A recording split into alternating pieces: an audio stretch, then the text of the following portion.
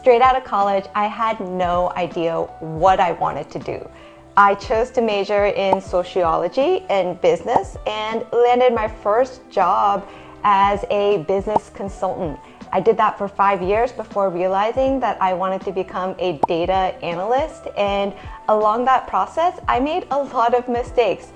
I finally landed my data analyst role and eventually became a business intelligence engineer at Amazon, which is what I do today. So, through my data journey, I get asked a lot is it possible to become a data analyst with no experience? And my answer is absolutely yes. And I say this because you don't need that computer science degree. You don't necessarily need the work experience. There is a path you can follow to become a data analyst, and I will be explaining that in today's video along with the most common three mistakes that people make along the way throughout this video. The data analyst journey can be broken down into three steps. The first is learn the data analysis skills. The second is build a portfolio, and then you'll want to start applying for data roles. Starting with learning data analysis skills. What is data analysis? It's a process of understanding data, being able to manipulate and analyze it, and then presenting your findings.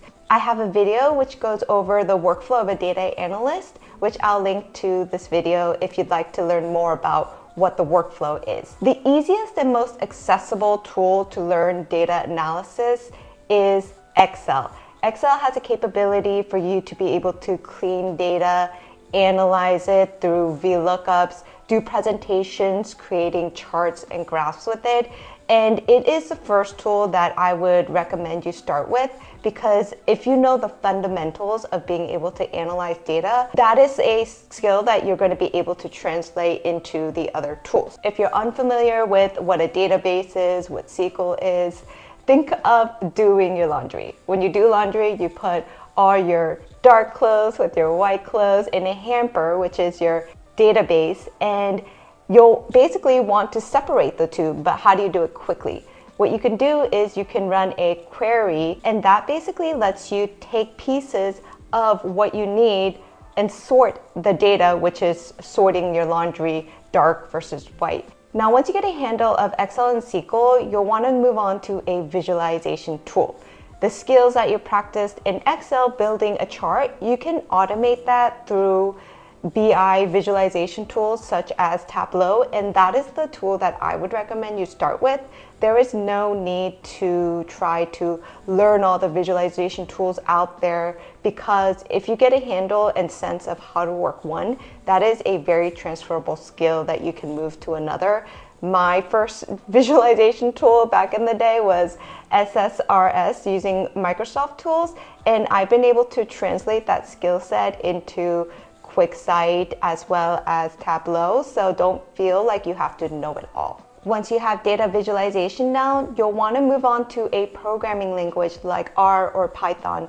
I would recommend starting with Python because that is a skill set that will let you level up later in your career if you want to.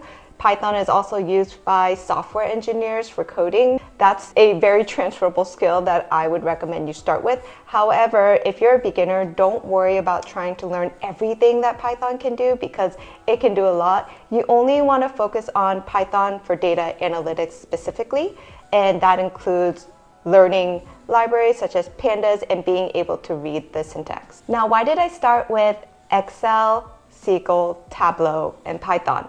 Because I was able to land my first job with just Excel and SQL. Just those two skills alone will get you very far in the data analyst industry and don't feel that you have to be the master at it to apply to roles. Once you're on the job, it's very common to Google how to query certain data sets, how to sort and find and merge data.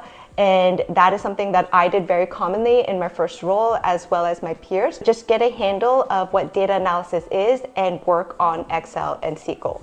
You may be thinking, what about math and statistics? I've seen a lot of blogs mention that these are two skill sets you're really going to need.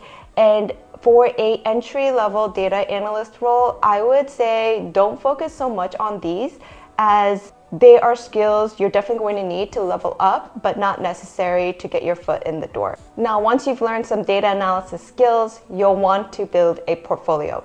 And this is important for two reasons. The first is you want to be able to apply your learnings. You don't want to just practice it, you want to be able to actually apply it to a project.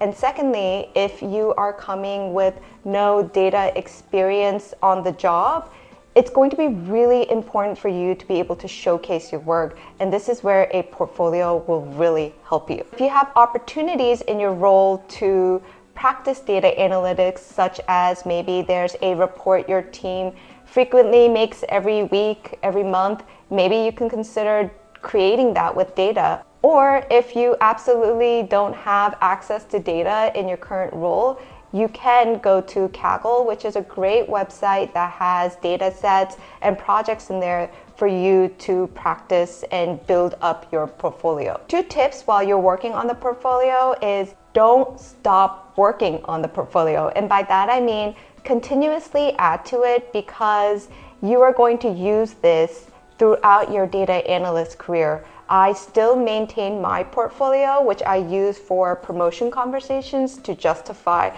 why I deserve a raise, as well as when I'm prepping for an interview, I already have my work that I can leverage and refer to to justify why I deserve the job. My second tip is as you're working on the portfolio, you want to focus on answering these five questions, which will really help prep you for the interview.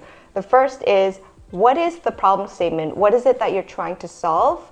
How did you do it? What tools did you use? What did you do specifically? Are there any deliverables? As well as what is the impact of this project? When you have about three to four projects in your portfolio, you'll want to then get ready to apply for data analyst roles.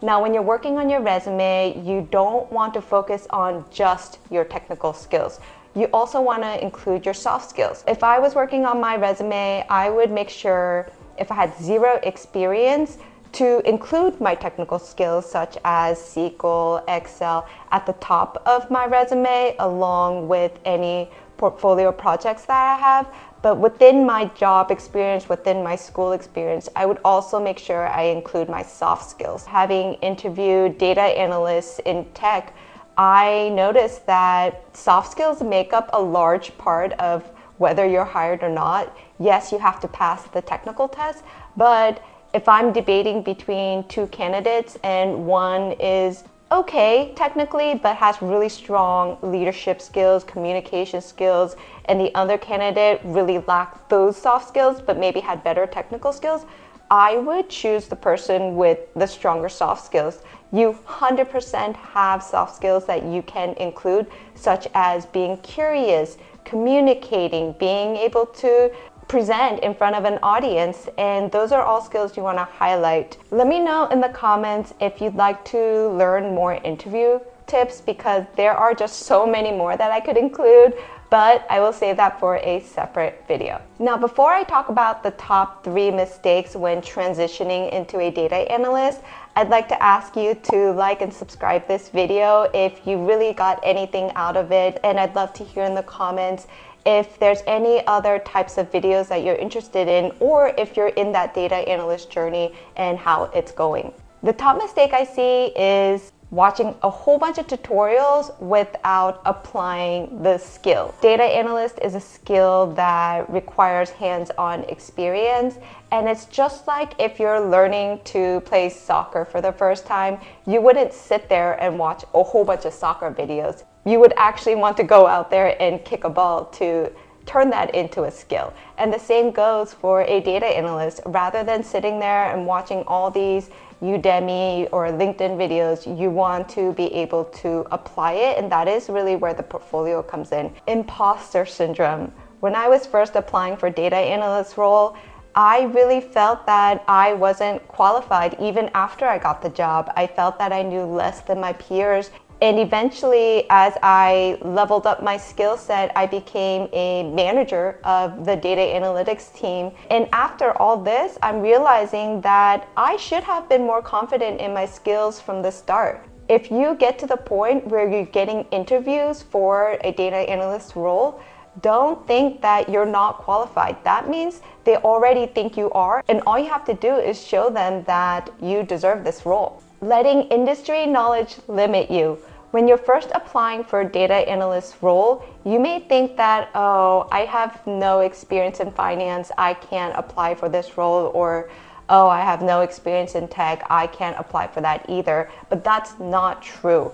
I've been able to move industries starting with healthcare over to tech, as well as a lot of my peers that I'm working with today, they came from various different industries and are now working in tech. And the reason for that is, is because data analytics is a skill that is very transferable across industries. If you're considering a role in data analytics, I would say go for it. The most important lesson I have in this video is to take action. There are going to be a lot of people watching this video that have the idea of being a data analyst but never do anything because they either have doubt, fear, or are just lazy. Meanwhile, there are the people who take action and are going to make money as a data analyst not because they're smarter or more technically savvy, but just because they took action. If you get anything out of today's video, it is to go for it. Don't let this just be an idea. Make it into something by taking action. And I can't wait to see you on the next video.